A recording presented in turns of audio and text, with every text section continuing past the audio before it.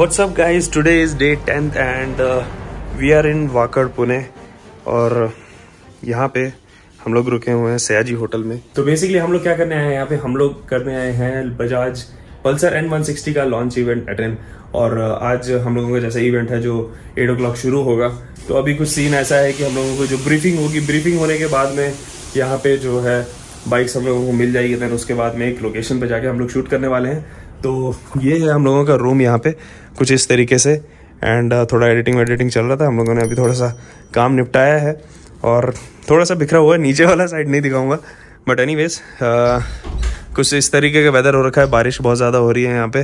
बारिश का तो कुछ कर नहीं सकते जिस हिसाब से रहेगा हम लोग शूट वूट करके वापस। बाइक लेके तो हम लोग शूट वूट करके बाइक लेके बैंगलोर ही निकल जाएँगे सीधे।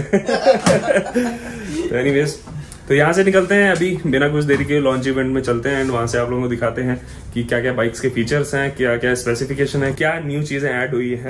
तो सो so गाइज़ अभी बाइक का जो ब्रीफिंग है वो हो चुका है एंड यहाँ पे पल्सर एन वन सिक्सटी खड़ी हैं। सारी यहाँ पे, अभी सारी मीडिया बाइक्स यहाँ से निकलेगी एंड कैमरा वैमरा अपन लोगों ने ले लिया है। तो यहाँ से जो है कुछ इस तरीके से है बाइक यहाँ पे अभी टेस्ट ड्राइव लेके देखेंगे कैसा है bike after driving for around 15 kilometres हम लोग पहुँच चुके हैं एक बहुत ही ब्यूटीफुल लोकेशन में।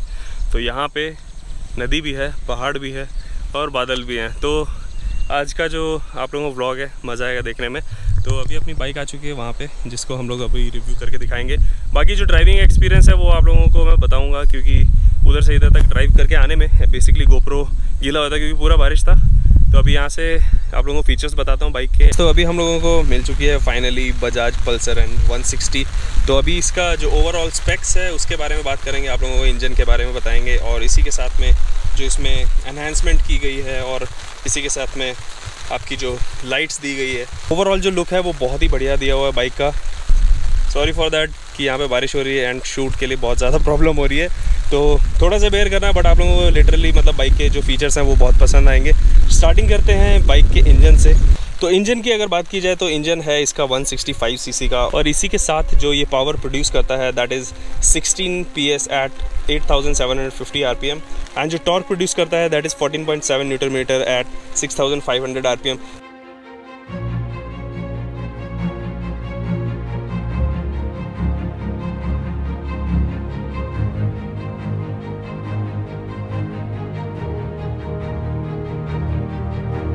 जो पावर है इसकी उसी से अंदाज़ा लगा सकते हो कि मतलब इसका जो इनिशियल टॉर्क है दैट इज़ वेरी गुड क्योंकि अभी हम लोग अपना लोकेशन से यहाँ तक ड्राइव करके आए हैं तो हम लोगों ने देखा मतलब कि जो ड्राइविंग कंफर्ट है बाइक का वो भी अच्छा है एंड जो इनिशियल टॉर्क है वो भी बाइक का बहुत अच्छा दिया गया है। अगर कूलिंग की बात की जाए तो इसमें कूलिंग मिलती है ऑयल कूल्ड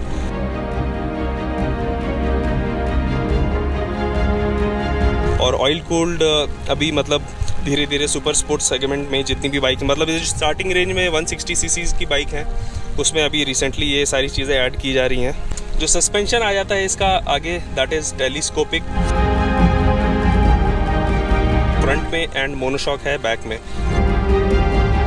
तो जो मोनोशॉक जो बैक साइड में दिया गया है दैट इज़ बेसिकली एडजस्टेबल तो आप इसको एडजस्ट भी कर सकते हो। और इसी के साथ में जो आप लोगों का सस्पेंशन है, जो सस्पेंशन की अगर बात की जाए तो पीछे वाला जो सस्पेंशन है, वो थोड़ा सा स्टिफ साइड में है और जो आगे वाला है, वो थोड़ा सा सॉफ्ट है। तो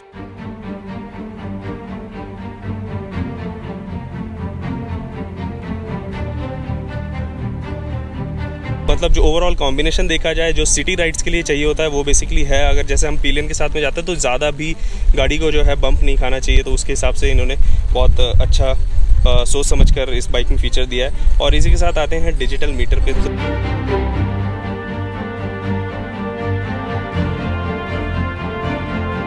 तो यहाँ पे बेसिकली जो आपका आरपीएम है, वो शो करता है। देन साइड स्टैंड है, जो साइड स्टैंड इसमें लगा रहता है तो वो आपका इंडिकेशन आएगा बैटरी का आएगा।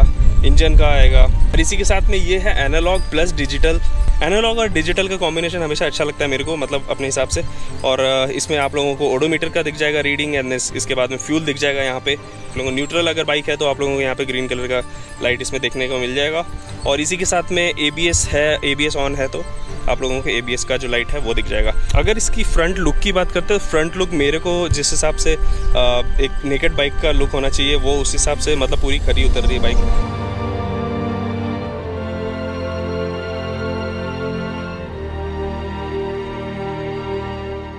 बहुत ही अच्छा लुक दिया हुआ है फ्रंट लुक और सिटी राइड के लिए स्पेशली नेकेड बाइक बहुत ज़्यादा प्रेफर्ड रहती है क्योंकि जो राइडिंग ट्रैफ़िक मतलब ट्रैफ़िक पे जब हमें राइड करना पड़ता है तो हमें बेसिकली चाहिए होता है कि हम लोगों को जो क्लियरेंस है वो मिले, जो हम लोगों को टर्निंग रेडियस है. नेकेड बाइक्स में ज़्यादा मिलता है तो नेकेड बाइक्स इसलिए ज़्यादा मतलब सिटी राइड्स में प्रेफर करते हैं क्योंकि उसमें फेयरिंग नहीं होती एंड प्लस आप लोगों को टर्निंग रेडियस ज़्यादा मिलता है. और जो जैसे कि लाइट भी आपका है लाइट जब आप टर्न करते हो कहीं पे तो वो भी लाइट भी उसी की तरफ़ फोकस रहता है, जिस साइड आप टर्न कर रहे हो, जबकि जो फेयरिंग वाली बाइक्स रहती हैं, उसमें ज़्यादा ये चीज़ नहीं रहता। अगर आप लोगों का स्ट्रेट हेडलाइट और पूरा बॉडी के साथ में ज्वाइन है तो आप लोगों का जो लाइट है, वो बेसिकली आगे ही जाएगा। जो टैंक कैपेसिटी है इस बाइक का दैट इज़ 14 लीटर्स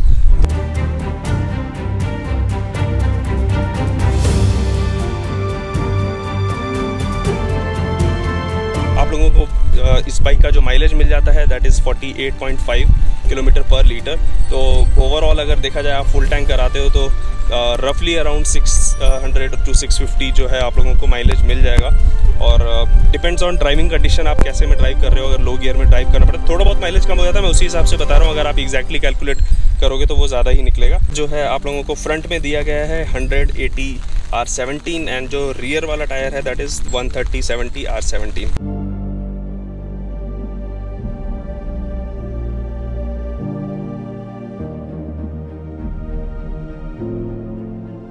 इस बाइक में दो मॉडल आ जाते हैं बेसिकली एक आ जाता है सिंगल चैनल और एक आता है ड्यूअल चैनल तो उसमें प्राइस में डिफरेंस है around five six thousand rupees का। और जैसे कि आप लोगों को मतलब टायर प्रोफ़ाइल आप लोगों ने देख ली होगी, इस हिसाब से है। जो डिस्क ब्रेक की अगर बात करते हैं तो डिस्क ब्रेक इसके कुछ इस तरीके से दिखते हैं।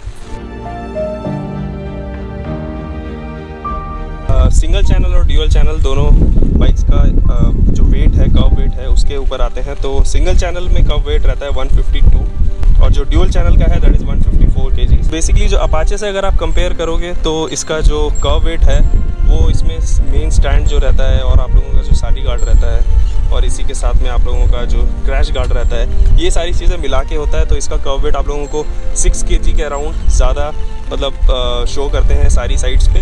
क्योंकि ये जो बजाज है स्पेशली ये चीज़ें कंसीडर करता है वेरस अपाचे इस चीज़ को कंसीडर नहीं करता है। वो बाद में जब एक्सेसरीज लगती है तो उसमें कंसीडर होता है।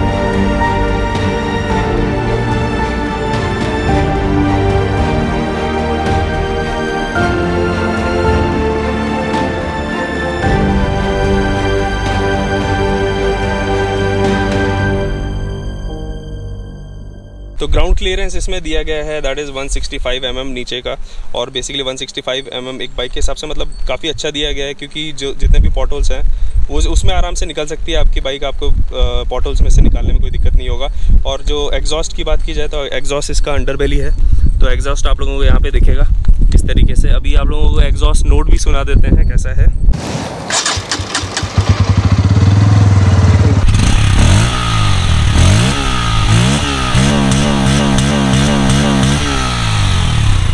एग्जॉस्ट नोट आपने लोगों ने सुना मतलब इस बाइक का बेसिकली देखा जाए तो 160 सीसी की बाइक के हिसाब से मतलब बहुत अच्छा एग्जॉस्ट है इसका। और स्पेशली बजाज के जो इंजन है ना मतलब बहुत ज़्यादा रिफाइंड रहते हैं। मतलब मेरा भी बाइक जो फ़र्स्ट था, वो पल्सर 150 था, जिससे मैंने स्टार्ट किया था। तो सीट की अगर बात की जाए तो सीट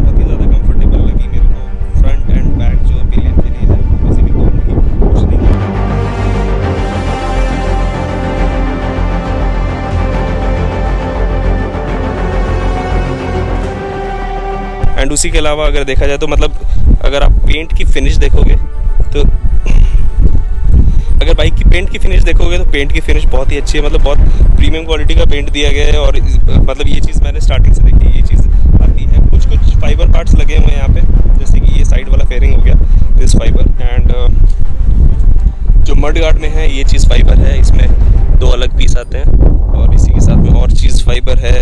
ये साइड वाला फेयरिंग जो है, ये फाइबर है। पीछे वाला ये भी फाइबर है। और ये जो टेल टीडी है दिस इज़ बेसिकली मेटल और उसके बाद में जो पार्ट यहाँ पे ये लगा हुआ है, ये सारा पूरा फाइबर है।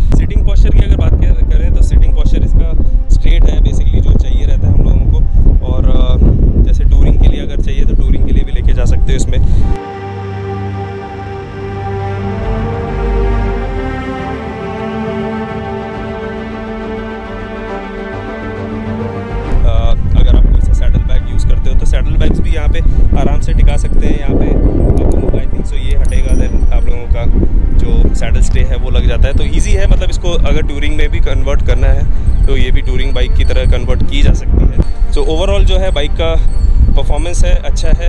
अभी तक का और बाकी जो आने वाले रिव्यूज़ में आप लोगों को पता लग जाएगा किस हिसाब से लॉन्ग टर्म रिव्यू है इसका।